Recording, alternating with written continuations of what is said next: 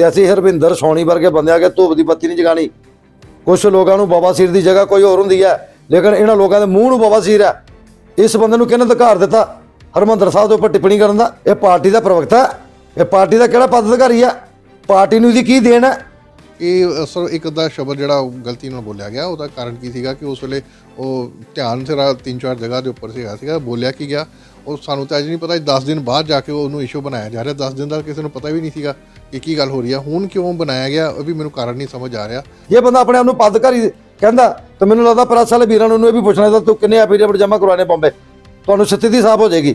ਸ਼ਿਵਸੈਨਾ ਦੇ ਨਾਂ ਤੇ ਇਹ ਲੋਕ ਦੁਕਾਨਦਾਰੀਆਂ ਬਣਾ ਕੇ ਬੈਠੇ ਨੇ। ਕੀ ਦੇਣਾ ਇਸ ਬੰਦੇ ਨੂੰ, ਹਰਵਿੰਦਰ ਸੋਨੀ ਨੂੰ ਸ਼ਿਵਸੈਨਾ ਦੇ ਪ੍ਰਤੀ? ਇਹਨੇ ਕੀ ਦਿੱਤਾ ਸ਼ਿਵਸੈਨਾ ਨੂੰ? ਸਮਾਜ ਦੇ ਵਿੱਚ ਜ਼ਹਿਰ ਫਲਾਇਆ। ਕਿਸ ਬੰਦੇ ਨੇ ਆਗਿਆ ਦਿੱਤੀ ਇਹਨੂੰ? ਇਹਦਾ ਸ਼ਿਵਸੈਨਾ ਨਾਲ। ਅੱਜ ਤੋਂ ਬਾਅਦ ਕੋਈ ਲੈਣਾ ਦੇਣਾ ਨਹੀਂ ਹੈਗਾ ਔਰ ਜਿਹੜੇ ਵੀ ਇਹ ਕੰਮ ਕਰੇਗਾ ਪੁੱਠੇ, ਉਹਦਾ ਭੁਗਤਾਨ ਇਹ ਕਰੇਗਾ। ਔਰ ਮੈਂ ਤੁਹਾਡੇ ਮਾਧਿਅਮ ਨਾਲ ਇੱਕ ਗੱਲ ਹੋਰ ਕਹਿਣਾ ਚਾਹਾਂਗਾ। ਪੰਜਾਬ ਵਾਲਾ ਸਾਹਿਬ ਠਾਕਰੇ ਦੇ ਜਿੰਨੇ ਵੀ ਸ਼ਿਵਸੈਨਿਕ ਹੈਗੇ ਨੇ, ਉਹਨਾਂ ਨੂੰ ਪੂਰਨ ਰੂਪ ਤੇ ਕਿਸੇ ਵੀ ਸਮਾਜ ਦੇ ਖਿਲਾਫ, ਕਿਸੇ ਵੀ ਮਜ਼ਹਬ ਦੇ ਖਿਲਾਫ ਬੋਲਣ ਦਾ ਕੋਈ ਅਧਿਕਾਰ ਨਹੀਂ। ਅਗਰ ਕੋਈ ਵਿਅਕਤੀ ਕਿਸੇ ਮਜ਼ਹਬ ਵਾਲਾ ਟਿੱਪਣੀ ਕਰਦਾ ਉਹਦਾ ਹੋਣ ਵਾਲਾ ਨੁਕਸਾਨ ਦਾ ਖੁਦ ਤੋਂ ਜ਼ਿੰਮੇਵਾਰ ਹੋਏਗਾ, ਨਾ ਕਿ ਪਾਰਟੀ।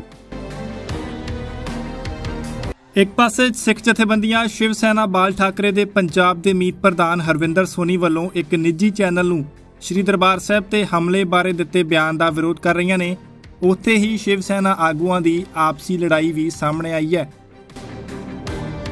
ਸ਼ਿਵ ਸੈਨਾ ਆਗੂ ਹਰਵਿੰਦਰ ਸੋਨੀ ਦੇ ਮੁਆਫੀ ਮੰਗਣ ਦੇ ਬਾਵਜੂਦ ਸਿੱਖ ਜਥੇਬੰਦੀਆਂ ਉਸ ਦੇ ਉੱਪਰ ਮਾਮਲਾ ਦਰਜ ਕਰਨ ਤੇ ਉਸ ਦੀ ਗ੍ਰਿਫਤਾਰੀ ਦੀ ਮੰਗ ਕਰ ਰਹੀਆਂ ਨੇ। ਦੂਜੇ ਪਾਸੇ ਸੋਨੀ ਦੀ ਹੀ ਪਾਰਟੀ ਸ਼ਿਵ ਸੈਨਾ ਬਾਲ ਠਾਕਰੇ ਦੇ ਪੰਜਾਬ ਪ੍ਰਧਾਨ ਯੋਗਰਾਜ ਸ਼ਰਮਾ ਨੇ ਹਰਵਿੰਦਰ ਸੋਨੀ ਨੂੰ ਪੰਜਾਬ ਮੀਤ ਪ੍ਰਧਾਨ ਦੇ ਅਹੁਦੇ ਤੋਂ ਹਟਾਉਣ ਦਾ ਇੱਕ ਪੱਤਰ ਜਾਰੀ ਕਰ ਦਿੱਤਾ ਹੈ।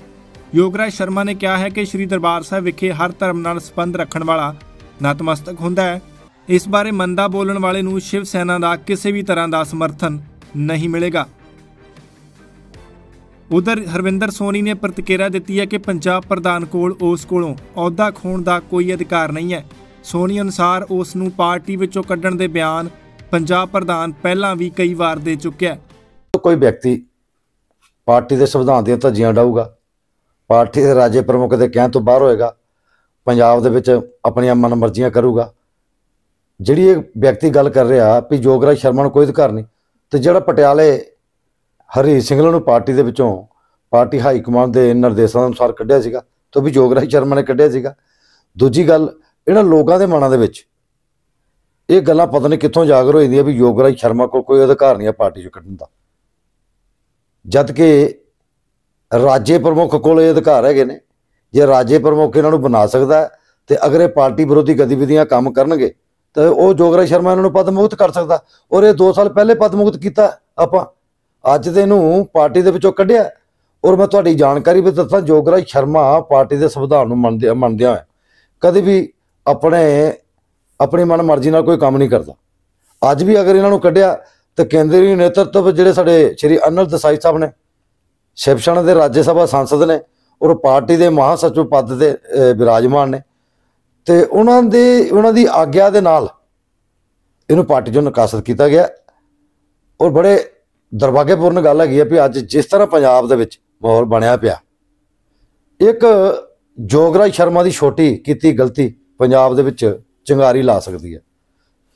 ਮੈਂ ਆਪਣੇ ਸਮਾਜ ਨੂੰ ਪਹਿਲੇ ਵੀ ਬੇਨਤੀ ਕੀਤੀ ਹੈ, ਸਿੱਖ ਸਮਾਜ ਨੂੰ ਵੀ ਪਹਿਲੇ ਬੇਨਤੀ ਕੀਤੀ ਹੈ ਵੀ ਐਸੇ ਲੋਕਾਂ ਦੀ ਬਿਆਨਬਾਜ਼ੀ ਨੂੰ ਬਿਲਕੁਲ ਨਜ਼ਰਅੰਦਾਜ਼ ਕਰੋ। ਕੁਝ ਲੋਕ ਪਤਾ ਨਹੀਂ ਕਿਹੜੀਆਂ ਏਜੰਸੀਆਂ ਦੇ ਸਾਰੇ ਤੇ ਇਹ ਪੰਜਾਬ ਦੇ ਵਿੱਚ ਇਹ ਜਿਹੜਾ ਗਨੋਣਾ ਪਾਪ ਹੈ, ਇਹ ਕਰ ਰਹੀਆਂ ਨੇ। ਅੱਜ ਪੰਜਾਬੀਅਤ ਨੂੰ ਬਚਾਉਣ ਦੀ ਜ਼ਰੂਰਤ ਹੈ, ਅੱਜ ਪੰਜਾਬ ਦੀ ਗੁਰੂਆਂ ਦੀ ਧਰਤੀ ਨੂੰ ਬਚਾਉਣ ਬਚਾਉਣ ਦੀ ਜ਼ਰੂਰਤ ਹੈ, ਕਿਉਂਕਿ ਆਪਾਂ ਕਹਿੰਦੇ ਹਾਂ ਵੀ ਪੰਜਾਬ ਪੰਜਾਂ ਦਰਿਆਵਾਂ ਦੀ ਧਰਤੀ ਹੈ।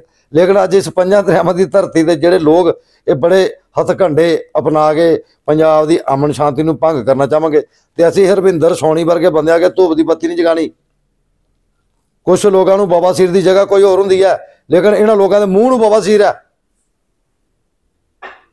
ਇਸ ਬੰਦੇ ਨੂੰ ਕਿਹਨੇ ਅਧਿਕਾਰ ਦਿੱਤਾ?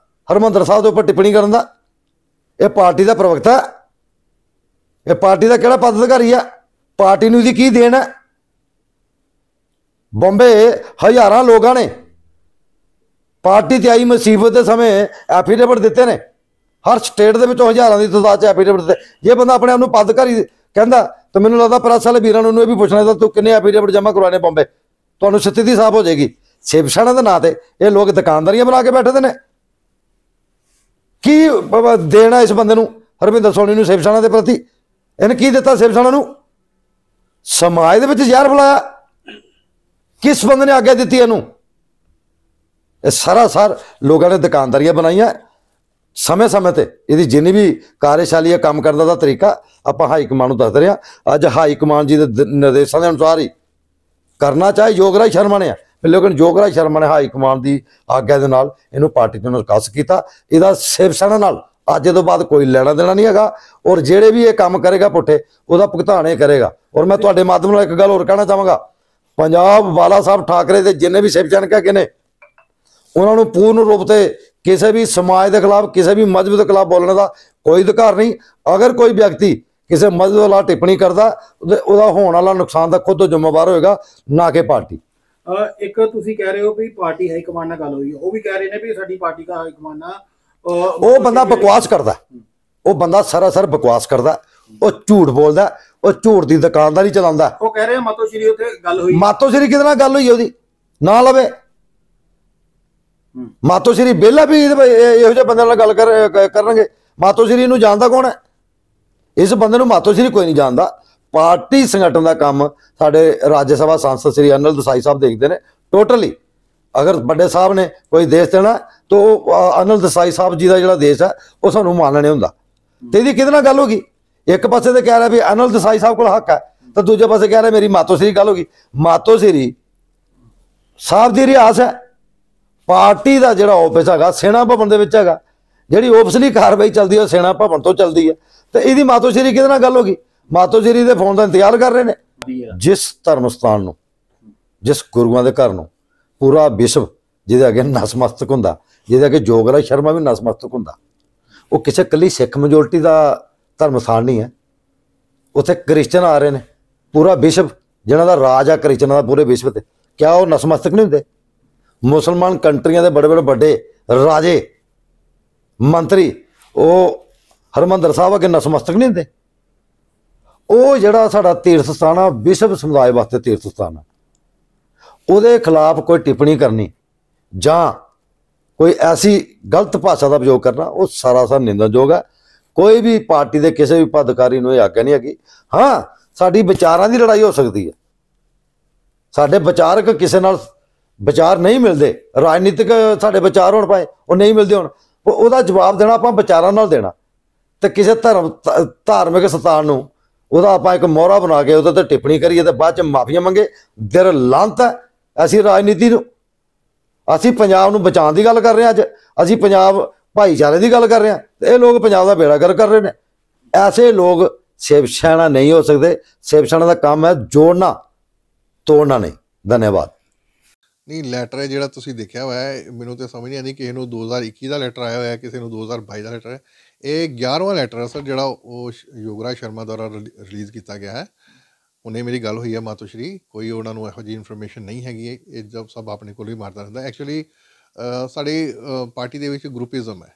ਗਰੁੱਪਿਜ਼ਮ ਹਰ ਪਾਰਟੀ ਵਿੱਚ ਹੁੰਦੇ ਆ ਸਾਡੀ ਪਾਰਟੀ ਵਿੱਚ ਵੀ ਹੈ। ਇਹ ਇਹਨੂੰ ਹਮੇਸ਼ਾ ਰਹਿੰਦਾ ਕਿ ਇਹਨੂੰ ਕੰਪੀਟੀਟਰ ਜਿਹੜੇ ਆਪਣੇ ਖਤਮ ਕਰਨੇ ਆ ਬਟ ਮੈਨੂੰ ਸਮਝ ਨਹੀਂ ਆਉਂਦੀ ਕਿ ਅਸੀਂ ਫੇਰ ਵੀ ਇਹਦਾ ਰਿਗਾਰਡ ਕਰਨੇ ਆ ਕਿ ਸਾਡੇ ਪ੍ਰੋਟੋਕੋਲ ਦੇ ਅਕੋਰਡਿੰਗ ਇਹ ਸਾਡਾ ਰਾਜ ਪ੍ਰਮੁੱਖ ਹੈ।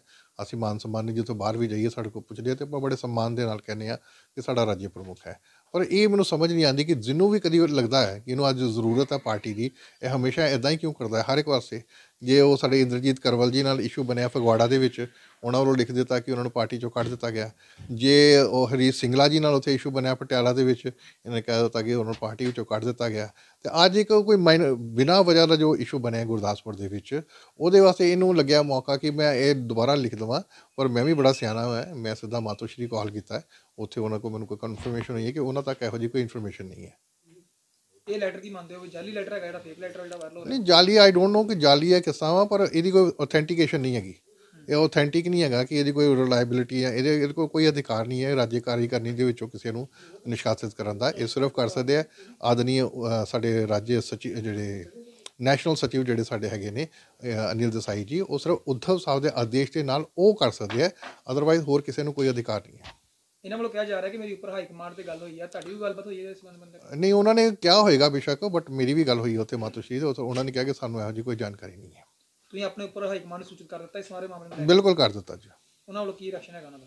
ਨਹੀਂ ਉਹਨਾਂ 'ਚ ਕੋਈ ਨਹੀਂ ਉਹਨੇ ਕਿਹਾ ਕਿ ਸਾਨੂੰ ਪੂਰੀ ਜਾਂਚ ਕਰ ਲੈਣੀ ਹੈ ਕਿ ਐਕਚੁਅਲੀ ਐਕਚੁਅਲੀ ਕਿ ਮੈਂ ਦੱਸਿਆ ਉਹਨਾਂ ਨੂੰ ਕਿ ਸਰ ਇੱਕ ਅੱਧਾ ਸ਼ਬਦ ਜਿਹੜਾ ਗਲਤੀ ਨਾਲ ਬੋਲਿਆ ਗਿਆ ਉਹਦਾ ਕਾਰਨ ਕੀ ਸੀਗਾ ਕਿ ਉਸ ਵੇਲੇ ਉਹ ਧਿਆਨ ਸਿਰਾ ਤਿੰਨ ਚਾਰ ਜਗ੍ਹਾ ਦੇ ਉੱਪਰ ਸੀਗਾ ਸੀਗਾ ਬੋਲਿਆ ਕੀ ਗਿਆ ਉਹ ਸਾਨੂੰ ਤਾਂ ਅਜੇ ਨਹੀਂ ਪਤਾ 10 ਦਿਨ ਬਾਅਦ ਜਾ ਕੇ ਉਹਨੂੰ ਇਸ਼ੂ ਬਣਾਇਆ ਜਾ ਰਿਹਾ। 10 ਦਿਨ ਦਾ ਕਿਸੇ ਨੂੰ ਪਤਾ ਵੀ ਨਹੀਂ ਸੀਗਾ ਕਿ ਕੀ ਗੱਲ ਹੋ ਰਹੀ ਹੈ ਹੁਣ ਕਿਉਂ ਬਣਾਇਆ ਗਿਆ ਉਹ ਵੀ ਮੈਨੂੰ ਕਾਰਨ ਨਹੀਂ ਸਮਝ ਆ ਰਿਹਾ।